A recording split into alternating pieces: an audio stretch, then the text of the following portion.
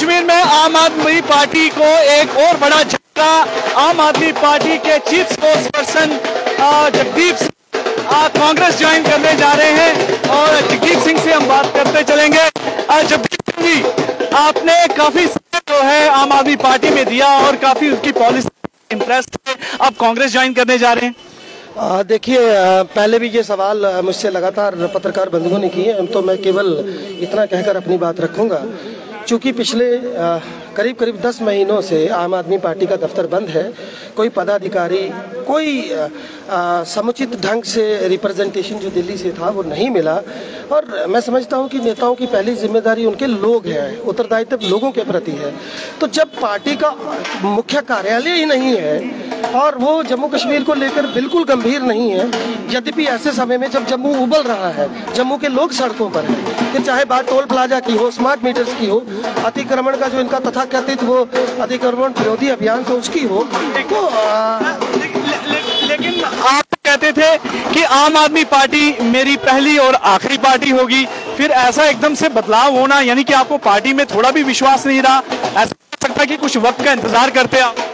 देखिए, आप मुझे बताइए, बिल्कुल ठीक कहा आपने, लेकिन आप इस बात का जवाब दीजिए, जब एक पार्टी चुनाव में उतरना ही नहीं चाहती तो आप अपने लोगों को किस तरीके से जवाब देंगे? आप मुझे बताइए।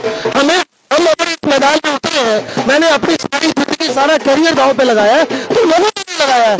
आज जब आपको वो मौका ही नहीं है कि आप लोगों के हितों को साथ रखें तो आप आप कैसे जस्टिफाई करें? लेकिन जैसे आप कह रहे हैं कि आपने अपना पूरा करियर जो है दाव में लगाया है और अपना करियर छोड़ के ऐसे जो भ्रष्टाचार के खिलाफ लड़ती है। लेकिन कांग्रेस में भी तो इस तरह के कई तरह के स्कैंडल हुए हैं जो करप्शन में लिप्त है, फिर आप भी उस में जा रहे हैं। देखिए, यहाँ सवाल व्यक्ति विशेष नहीं है। अब सवाल एक पूरी सियासी तंजीम का है और कांग्रेस मुझे नहीं लगता कोई और ऐसा मंच पूरे देश को नज़र आ रहा हो जिसके ऊपर वो खड़े हो सके। आ, तो अभी आप देखते हैं कि जगदीप सिंह आम आदमी पार्टी के स्पोक्स पर्सन अभी कांग्रेस ज्वाइन करने जा रहे हैं। मैं उस तरफ़ दिखाना चाहूँगा कि ये कांग्रेस पार्टी यहाँ पर नज़र आ रहा है और यहाँ पर अभी ज्वाइनिंग होगी और इस ज्वाइनिंग में जो है तरनजीत सिंह टोनी और नम्रता शर्मा जी जो हैं ये ज्वाइनिंग यहाँ पर के लिए तैयार हैं और प्रेसिडेंट कांग्रेस के हैं, वो उनके थ्रू जो है ज्वाइन करवाएँगे। पहले इन्होंने ज्वाइन किया था, अब इनके साथी जो है आहिस्ता आहिस्ता आ रहे हैं। अब आम आदमी पार्टी में जो गिने चुने रह गए थे लोग, अब लगता है आप उनको भी साथ ले आ रहे हैं। बिल्कुल, देखें, अब मुझे लगता है कि जो हमारे साथी हैं, जो हमारे साथ प्रेम, मोहब्बत रखते हैं, वो सारे इधर आएँगे। और वैसे भी उनका दफ्तर बंद हो चुका है और वहाँ पे कोई इंटरेस्ट ले ही नहीं रहा तो इसलिए। तो आप क्या कहना चाहेंगे आज की ज्वाइनिंग को लेकर? हम ये कहना चाहते हैं कि मुबारकबाद है आज बहुत दिन की हमारे जो साथी रह गए थे आम आदमी पार्टी में, आज वो यहाँ शमूलियत, यहाँ आज उनकी कांग्रेस में ज्वाइनिंग है। और एक बड़ी आज की ज्वाइनिंग होने जा रही है जगदीप जी की, जो वहाँ चीफ स्पोक्स पर्सन रहे हैं। तो इसके साथ ही मुझे लगता है कि कांग्रेस और मज़बूत होगी, जो अध्यक्षता है हमारी वकार रसूल साहब की। जिस तरह से रोज हम देख रहे हैं कि कांग्रेस का परिवार बढ़ रहा है, ये उस बढ़ा बढ़ते कदम कांग्रेस के आगे बढ़ते कदमों में एक और उसमें शमूलियत है।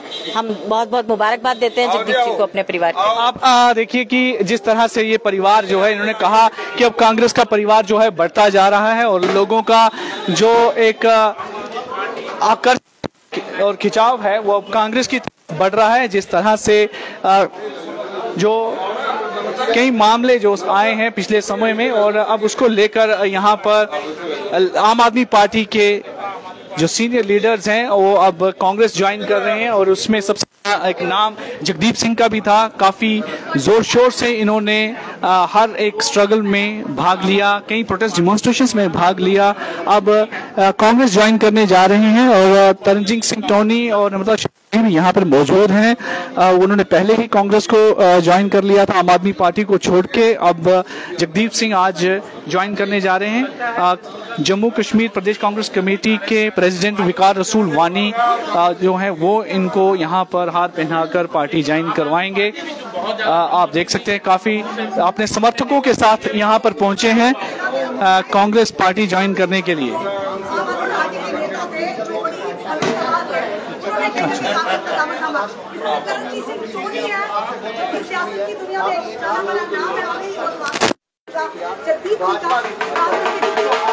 क्या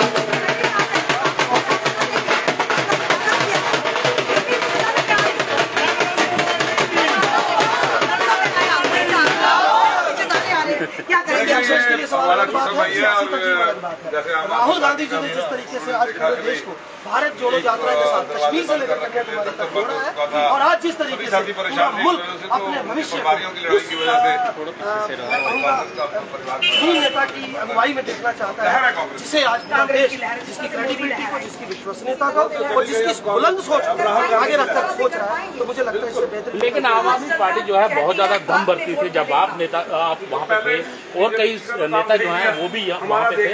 लेकिन उसके बाद यकायक क्या हुआ? कि सब छिन्न हो गया। सबसे पहला कारण इसका वो गठबंधन है जिसे इंडिया नाम दिया गया और ये ज़रूरी भी था क्योंकि भारतीय जनता पार्टी के अहंकार को ज़मीन पर लाने के लिए तमाम पार्टियों का एकजुट होना ज़रूरी था और यही एक बड़ी वजूहत है। मैं साफ़ शब्दों में कहूँ क्योंकि जब गठबंधन बनेगा उदाहरण के लिए बनर्जी जी लड़ रही है बंगाल से तो वहाँ से वही लड़ेगी। अब अगर आम आदमी पार्टी कांग्रेस और आम आदमी पार्टी की समझौता पंजाब में या बाकी सीट में तो वो ज़रूरत थी जो वक्त थी, इसको देकर ये गठबंधन हुआ।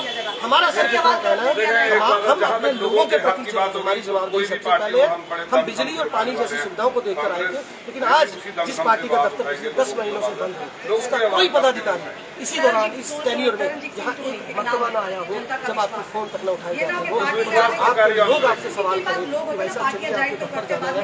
आपके नेताओं से मिलना है। तो ऐसी परिस्थितियों में आप भगवंत मान जब सीएम बने थे तब आदमी पार्टी की।